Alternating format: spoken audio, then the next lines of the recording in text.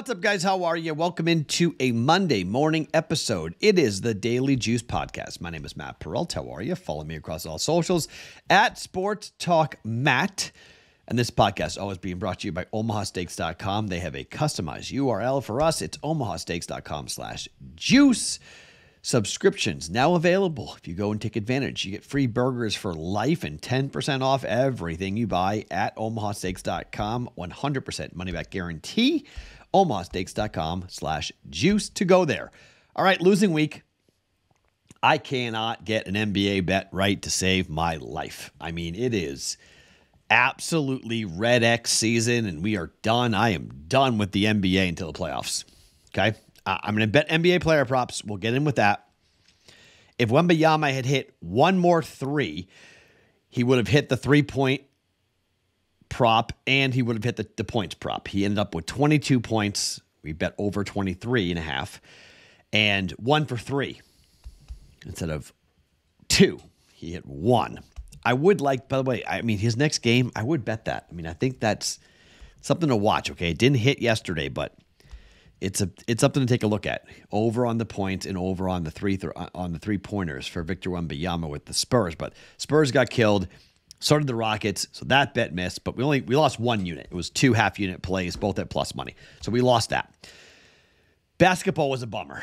Nebraska right. We got all we got right was the Huskers. One and one in college basketball. The Creighton game, it's another game where I made a pretty good case for taking the dog, but I bet on the Jays. I really did think Creighton was going to win that game. It was a bad bet by my by me. I really thought that their threes would fall and they had open looks all over the place. But they didn't go down and when they are missing threes, they just really have a hard time. I mean, they are literally a make or miss team. I know people want to call them mediocre or overrated. It, the, the word overrated to me in college basketball is really funny because in order for someone to be overrated, you have to trust that the people doing the ratings know what they're talking about. And they really don't. Like, for instance, Wake Forest over the weekend beat Duke. Wake Forest was favored at home to beat Duke, yet Duke had the little number next to their name. So there was a court storm. The bookies, the bettors, the people who were watching college basketball, they knew Wake Forest was live to win that game. That's why they were favored. But it's an upset. Is it really an upset if you're favored at home? I mean, who who really knew there, right? The Chiefs were dogs in every game in the playoffs. In every game who who knew, right? Like who's overrated in college basketball, really? I mean, the Jays were favored, okay, and you can say that they lost, and that's you know they beat UConn and they lose. There is a really interesting trend going on with teams that have a big win and then the very next game they're losing. Like big win, you're all pumping your chest out. UConn kills Marquette, and then Creighton kills UConn, and then Creighton gets killed by St. John's, and mean, they beat the number one team in the country by 19 and they lost on the road to St. John's unranked by 14. That is college basketball this year. It is an insane, wild ride. Fun to watch. I've done pretty good betting on it. I'm now what? Um, 58 and 44 in college basketball. That's pretty good. Exact opposite in the NBA. It's even worse in the NBA. I can't, I mean, it's just pathetic. So today, we're doing two college basketball bets, obviously and one NHL play to give you guys. So let's start in college basketball and let's start with Miami against North Carolina. Number is 14. There is no way I'm laying this. All right. I think Carolina kills them, but there's no way I'm laying this. Okay. The total is 145, 140, 154 and a half. Okay. This has been pretty much an under team. Both teams have been under teams in conference. 11 and 5, North Carolina to the under. Miami 11 and 6 to the under in conference play. But Carolina is 7 4 and 1 ATS at home, and they've been hot at home. Against Vatech, total was 151, went over by 26 points. At home against Clemson, it was 154, went over by two points. At Duke, one sorry, at home against Duke, 152 and a half, went over by 24 and a half points. Since we started February, three home games, three overs for North Carolina.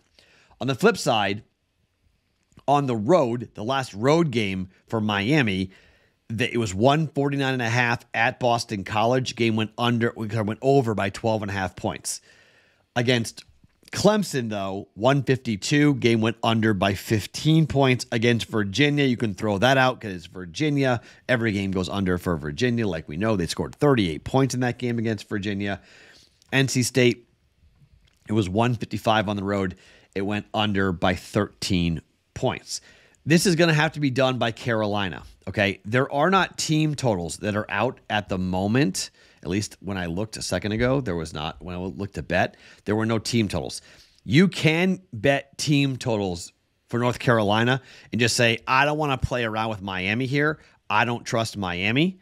And I'd rather, yeah, there's no there's nothing up at the moment for team totals. So, you know, if you find a team total you like, I don't mind that play at all from a team total perspective, but I bet overnight, and you don't normally see overnight team totals in college basketball. So I have to bet over.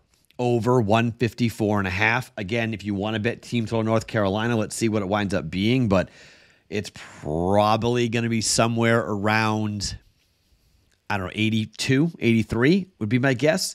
And I like the over there for North Carolina, team total over.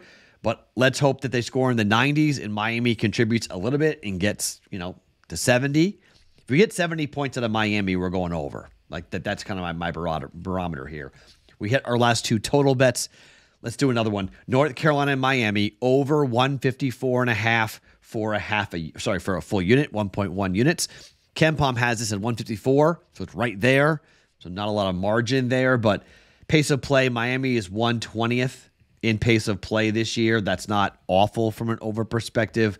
North Carolina is 45th. They like to play fast, in particular at home, where they've been pretty good. Only one home loss all year. That was to Clemson. So, done a pretty good job here. I do expect them to win the game. KenPom has it as a 14 point win. I'm not going to touch the, the side over 154 and a half for 1.1 units. Second bet in college basketball. I'm going back to Baylor. Baylor's on the road at TCU. KenPom has this as a one point loss for Baylor. Total is two and a half, or sides two and a, half. TCU favored. Opened at three, bet down at two and a half. Look, back to back losses for Baylor. If they hit the free throw at the end of regulation, we cover our bet, but also Baylor wins the game outright and they beat Houston. Number one team in the country, according to KenPom. Didn't happen. They lost in overtime 82 to 76. These teams played back on the 27th of January. Triple overtime loss to TCU for Baylor. Triple overtime loss. At the time, their first home loss or only home loss was to TCU in triple overtime, 105 to 102. Kansas State beat them, Texas beat them, both on the road. They played TCU and they lost three in a row. Only time all year long Baylor has lost three in a row. They lost to BYU on the road in their last home game, last road game. They lost in overtime to Houston. I don't think history repeats itself here. They may lose the game, but I like Baylor at plus two and a half. Yes, I know we just were on Baylor and they burned us, but Baylor on the road this year is 7 4 and 1 ATS. I know that TCU has covered four games in a row and they're 9 and 5 at home. Cincinnati laying five and a half at home, won by 18. That's a bad basketball team. At home against West Virginia, laying 13, won by 16. Whole uh, bad basketball team. Against Texas, though, they laid four and a half. They lost by 11. They were laying four against Texas Tech. They won by seven. At home against Iowa State, they were laying five. They lost by one. They beat Houston. That was the big one when TCU beat Houston back in the beginning part of the season. Big home win there, catching three. They won by one. This is a team that's lost three of five. They have got to get a big win. They need a road win like this over a tough TCU team. I think Baylor can win the game outright, but I'm going to take the two and a half points here. Baylor plus two and a half for 1.1 units. All right, two college basketball bets for us here on a Monday. Over North Carolina, Miami, 154 and a half. Taking Baylor plus two and a half for 1.1 units. Now, hockey play. The Dallas Stars have Jake Oettinger going in net tonight. They are at home against the New York Islanders. The numbers are quite interesting, ridiculous even here. Over the last 10 games on the road for the Islanders, they haven't been a machine, but they're 4 4 and 1, sorry, 4 4 and 2 flat to the over or the under.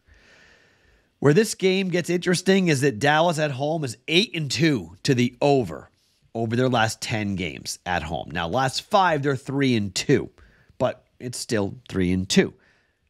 Tied for the second best road record to the over over the last 5 games at home. On the road for the Islanders, they're 3 and 2 over their last 5 games. The total is 6. Now we're laying 122 juice here at DraftKings, but I think this game is going to go over. Here's why. Jake Oettinger at home has a 3.28 goals against average. He's 9 5 0 and 2.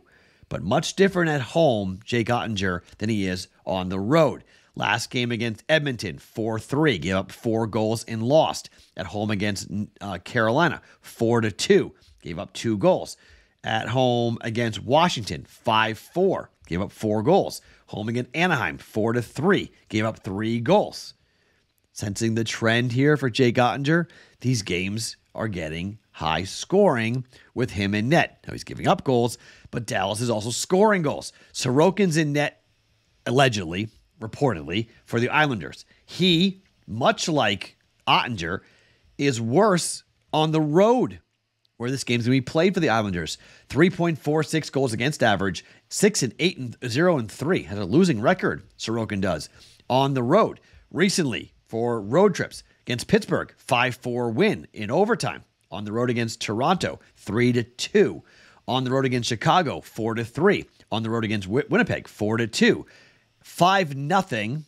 He gave up three goals and got yanked against Minnesota. Game didn't go over, but they gave up five goals back on the 13th of January was a 3 1 loss.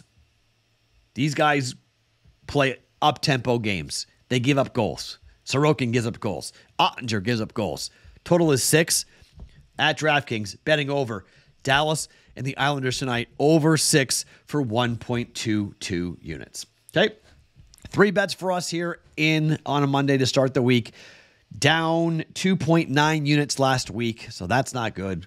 Let's see if we can bounce back here, see if we win back the three units we lost last week, and see if we can get back on the track here to get a winning week. Again, over 154 and a half, North Carolina.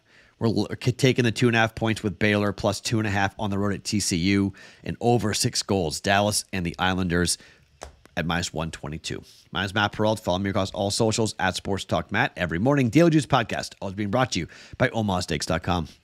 Thank you.